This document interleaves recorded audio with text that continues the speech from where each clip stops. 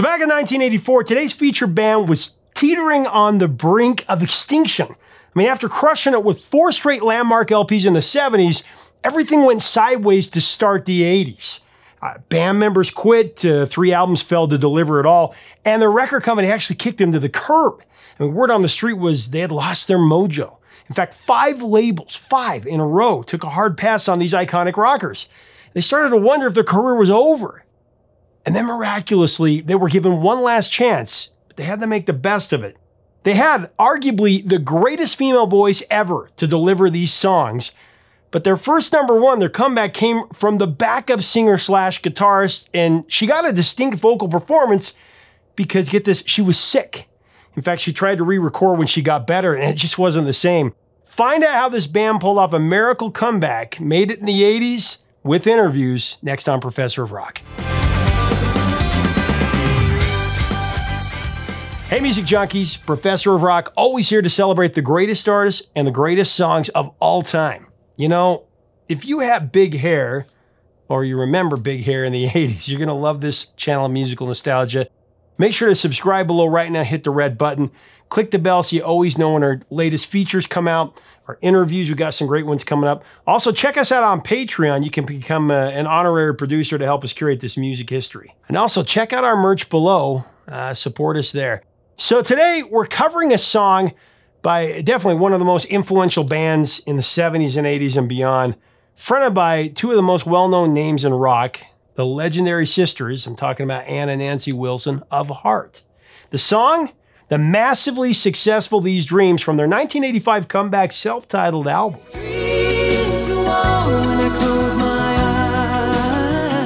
So Let's go back. In the 70s, Heart put together a truly impressive run of four US top 20 albums in a matter of just a few years. Beginning with the classic Dreamboat Annie in 1975 and then closing out with Dog and Butterfly in 78. Heart, consisting of Ann Wilson on lead vocals, uh, Nancy Wilson on guitar, there's Roger Fisher on guitar, Howard Leese on guitar, Steve Fossen on bass, and Michael DeRosier on drums. They kicked out three top 15 entries during this time Magic Man, Barracuda, and Straight On. And these songs were so much bigger than their chart positions. I mean, Magic Man and Barracuda, they're classics of all time, played on classic rock radio every day.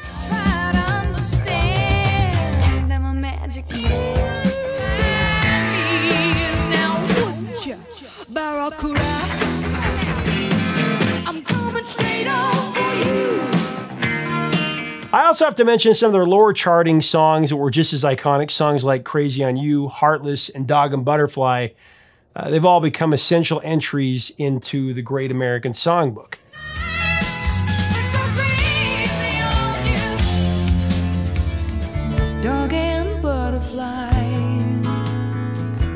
However, beginning with Roger Fisher's departure that happened in 1979, the beginning of the next decade would be a, totally different story for the band. The Heart's 1980 album, Bebe Le Strange, that was released to mixed reviews. It was a departure from the, the heavier stadium rock that had made them stars.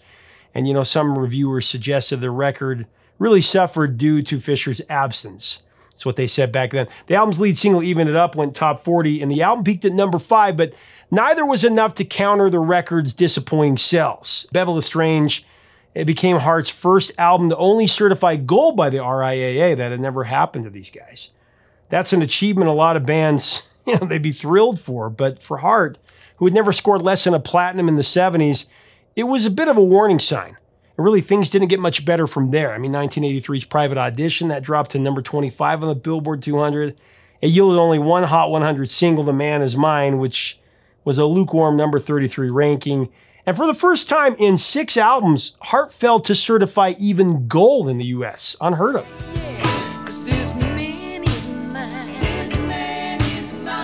Then before Heart's next album, Passion Works, uh, Steve Fossen and Michael DeRosier, they both left the fold. They were in turn replaced by Mark Andes and uh, Denny Carmassi. However, this revised lineup, it wasn't enough to jumpstart the band's commercial fortunes. And uh, another Heart album failed to meet expectations. Uh, Passion Works single, it was How Can I Refuse? It did go to number one on the US rock charts. It's a great song.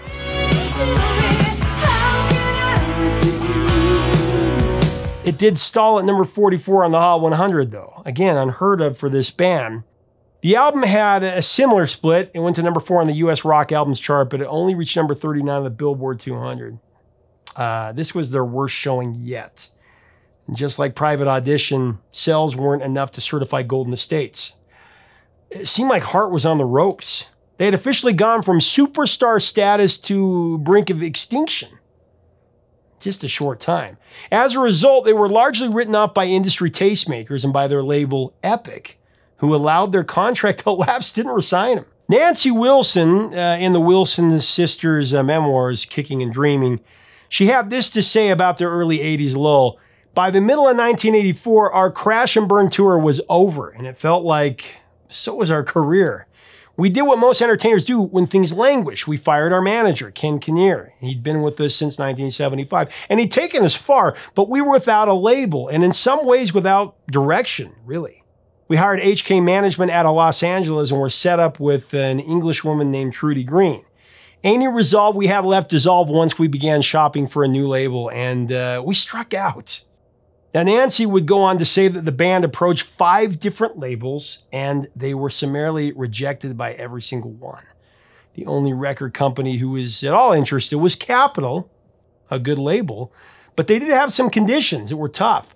Capitol was only interested in Heart if they were willing to cover other people's songs and or co-write new songs of proven songwriters. Actually, Ann Wilson talked about this and we'll show it in an interview later. Uh, Capitol appointed Ron Nevison to be their producer. Bad medicine Ron Nevison. According to Nancy, he was brash, he was arrogant, and he was highly opinionated. But despite that, the band, they actually liked him. Plus, he had engineered Led Zeppelin's physical graffiti, so that was a big plus. Capitol had originally hired Ron to produce a few singles, but once the band met with him, they decided that he was the guy to do, you know, the entire album. Now, recording took place, uh, I believe, between uh, January and April of 1985. It started at the record plant in LA, and then they moved to the plant in Sausalito, California. Now, according to Nancy, they wanted to get away from the influences of LA, you know. Now, up to this point, Heart had written most of their own songs. However, per Capitol stipulations, that was going to change. For the first time in their careers, the Wilson sisters worked extensively with songwriters from outside the group. Now, the bright side was that the band would enlist a talented cast of characters. There was Jim Vallance, who had worked extensively with Bryan Adams, who was hitting it big with Reckless at the time. The famed Holly Knight, who penned a number of notable 80s hits uh, for you know Pat Benatar and many others, Tina Turner. Mark Mueller, whose songs landed on Gold and Platinum Records for four straight decades as well. Most notably, though, for today's episode, uh, the highly celebrated Bernie Taupin and the great Martin Page, they uh, they wrote today's featured track, "These Dreams." Uh, we're going to get into that in a second, including an interview.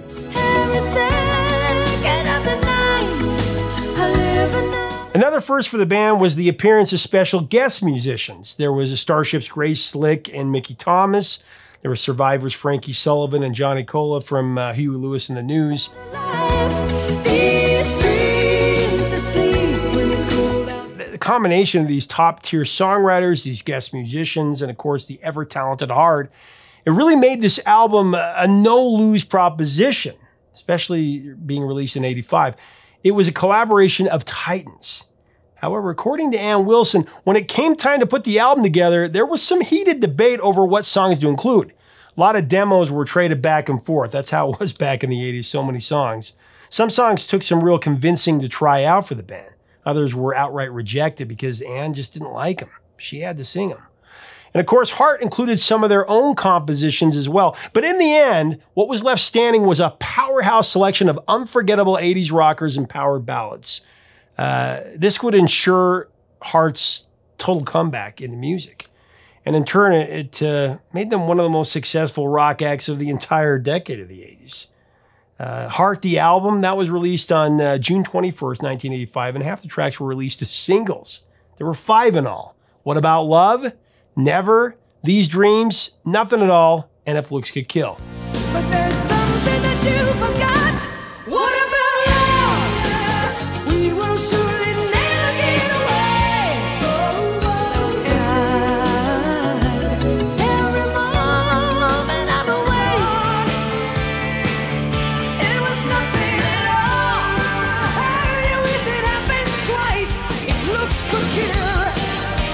So let's jump into today's featured song, These Dreams, of course, co written by Bernie Taupin and Martin Page. Taupin, of course, famous for being Elton John's lyricist, his right hand man. However, by the mid 80s, uh, Taupin had gravitated outside of Elton's orbit. His two biggest hits from this period were both composed alongside Martin Page, who would have quite the career of his own. By the way, that other hit song was We Built This City, which scored Starship a number one ranking on the Billboard Hot 100. We actually just covered that.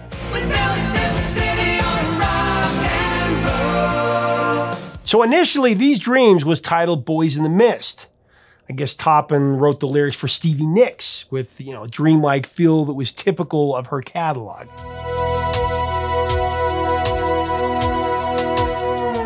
However, Stevie Nicks turned the song down, so Martin Page composed the music and he changed up the title. Now, after Nicks passed on this song, These Dreams, it was actually offered to Kim Carnes, Miss Bette Davis Eyes.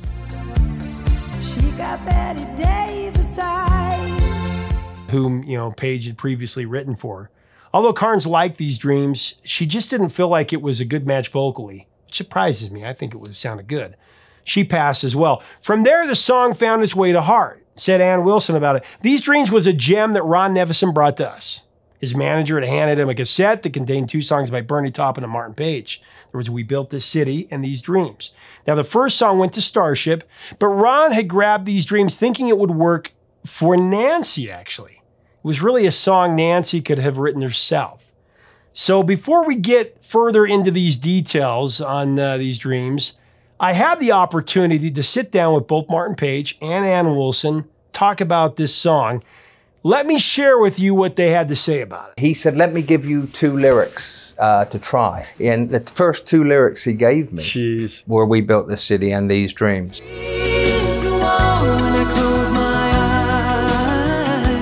Another number one hit, Heart's first number one hit. Very fortunate that those were the first two lyrics he sent me and that we had two number one. It actually, made, I think, Bernie go like, oh, I'm on to something here. And it kept us together for a number of years, which was really great. We listened to piles and piles of other people's songs, you know, LA songwriter pool songs. And plus we were still writing our own, but the songs we were writing were just not, they weren't what was the excess of the 80s. wanted. We were sounding antique at this point. We weren't changing with it or being ahead of the times. We weren't out there in front. And, um, this was the moment where we thought, well, this is probably going to be it. The excess of the 80s. Yeah. Kind of came yeah. in. It's yeah. so interesting how things change so quickly in the music industry. Yeah, and sometimes it's slow and gradual, and sometimes it's tsunami. In the 80s, it was kind of like a weird crystallization into um, phoniness. I mean, lots of people will hate me for saying that because no. they love the 80s. They love the whole thing. Well, I love it because that's when I grew up and I was discovering this music. Right. But yeah. MTV, I mean, was a big step in helping people from Idaho. I mean, I grew up in a small town in Idaho, yeah. so that was my window to the world, you know. Yeah. But I understand what you're saying. Absolutely. And some of the music was gorgeous. The police, I mean, some amazing things came out of that era. But also some really inauthentic Excess. bullshit came out of that. Yep. Excess. Like Nancy always says, the the type of drugs that were popular then even got egocentric. Right. Luckily, These Dreams. Oh yeah. Which is a great song. These Dreams was a 10 minute song. Yeah. I literally wrote it in Jeez. 10 minutes. Uh, and it always sticks in my mind because when I wrote with Robbie Robertson on a song called For an Angel, it took Mm. over a year. Because when people say, well, how is it to write a song? I say, you can never really plan it. It's either going to happen straight away or some you get a glimpse and then it uh, takes a long time. So these dreams I remember as being ridiculously fast. Yeah. And I can remember writing in a little flat in LA and so excited about harmonically how the melody was that I picked up the phone and played it to Diane as I was singing it down the phone and playing the chords because it just wrote it. I mean, it sounds cliche, but it came very, very quick. I mean, it's one of those things when I, it, now, if anybody asked me, they'd say, what are your favorite songs? I'd say probably musically, that these dreams uh, hits all the knobs for me. I'm, Yeah. I'm pleased with how um, harmonically that song turned out. From dreams in the mist. These Dreams was the only song of the album on which uh, Nancy Wilson sang lead vocals. She didn't do it very often. And when you got Ann Wilson, there's no need. Uh, she, of course, handled lead vocals all the time. But when the band heard this demo, everybody thought it suited Nancy better. Ann actually tried singing a verse when they first got it, but it just didn't work for her voice. Later on in their career, you know, Ann did sing it a few times, but still wasn't a great fit, as they say. Said Ann, once on stage when we were bored and trying to shake things up, I tackled it again, but I had to change the key to get through it. It just didn't break with my voice the right way. It was Nancy's song from the very start. End quote. Spare a little candle, save some light for me. Nevison didn't have to work very hard to convince Nancy to do it, actually. She said she knew it was a great song, and being an Elton John fanatic, she, of course, loved everything that Bernie did. Only get this Nancy actually had a nasty cold when she first recorded her vocals. It's pretty rough. But it actually worked to her favor. Even though her voice cracked at the high parts, Nevison, he liked the rasp of it. Second of the night, I live another life. A couple months later, after Nancy had recovered, they actually recorded the vocals again. And Nancy tried her best to recreate that uh, under the weather sound, but it just wasn't the same. It wasn't as natural, so they, they left it. Ron joked that, you know, Nancy needed to get sick again to sing it. Her healthy voice, there just wasn't that rawness. Awake, Ultimately, Nevison convinced Nancy to let him use the original. Wasn't a perfect take, but it was full of emotion. It was really brilliant. Sadly, I don't think that sort of vocal creativity would ever be allowed to happen again. They would definitely auto tune it. I can't resist. Also, during the sessions, Heart received a letter from the family of a young fan named Sharon Hess. Now, Sharon, uh, she was actually dying of leukemia, and one of her last wishes was to meet her favorite band. So arrangements were made for a studio visit. The day Sharon arrived, Nancy was recording that first vocal run through of these dreams. Nancy described Sharon as a feisty 22 year old who was bravely fighting this horrible disease. She said it was very emotional having her there in the studio. The sweetest song is silence that I've ever heard. Sharon absolutely fell in love with the song These Dreams.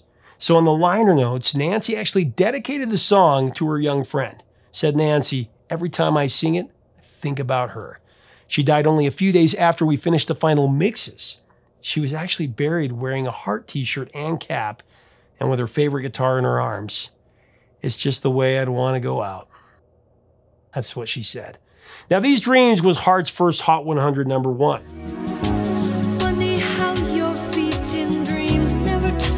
One of only two that the band had. Alone followed the next year.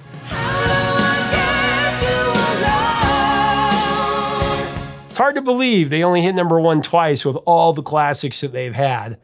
Uh, These Dreams also went to number one on the Cashbox chart and the Adult Contemporary chart, and it reached number two on the Mainstream Rock chart. Definitely a triple threat, as they say. Unfortunately, it had less success internationally.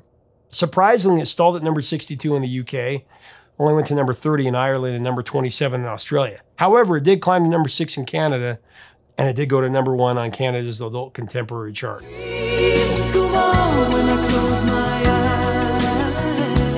Now, since its charting days, you know, back in the 80s, These Dreams has appeared in a handful of movies and TV shows, including uh, The Campaign, Family Guy, Brian Wilson bio uh, Love and Mercy. Uh, there was The Nest, In the Dark, and Black Monday. in a way you can dreamily digest. These dreams go on. As far as covers go, These Dreams, it's really underrepresented. In my research, I was only able to find covers by Styx and Panic at the Disco. But I'd be really surprised if that's all there is. There's got to be more out there. Let me know if you know of any in the comments. As the years have passed, These Dreams has become a staple on just about every greatest hits and live album Heart has ever released. For example, you can find it on 1995's The Road Home, uh, the aptly named These Dreams in 1997, it's 2002's The Essential Heart, and 2003's Alive in Seattle, just to name a few. Also, These Dreams has tallied more than 200 million streams on YouTube and Spotify, making it one of Heart's most popular songs. I live life. These dreams. Now, by the time these dreams reached the top of the charts, the Heart comeback was already going full force, actually. Two other singles had previously reached the top 10. What About Love went to number 10, and Never climbed all the way to number four. The album quickly scaled the charts as well, ultimately claiming number one bragging rights. They actually go on to sell over 5 million copies. Some actually have it at 6 million. Actually makes it the biggest selling Heart album of all time. Nancy reflected, saying, Just a year before, Ann and I had been adrift in our career without a record label. Even I had Question of Heart had passed our expiration date. Our first success had been so rooted, you know, in the original lineup of the band and in the 70s. We just wondered if we were ever to break free. But when Heart became our biggest album ever, it felt like we had a new life without baggage. Sleep It was a phenomenal resurgence, but the band's prosperity, it didn't end there. Heart's follow-up, uh, Bad Animals, that was released a couple years later in 87, that was a smash hit as well. It went to number two on the Billboard 200, and it delivered another three hit singles, including the aforementioned number one song, Alone. Phenomenal vocal performance by Ann there. Um, and they were back on top.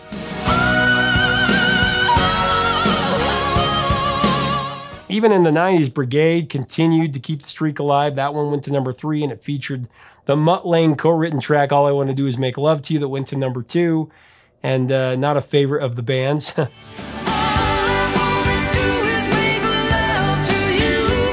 all in all, though, from 1985 to 1990, Heart would release a barrage of 80s rock classics that killed it on the Hot 100 on the charts. There were seven top 10 hits, a number two, and two number ones. And between their three albums, they sold over 13 million copies. How's that for a comeback? Well, I mean, we are talking about Heart, one of the greatest bands ever.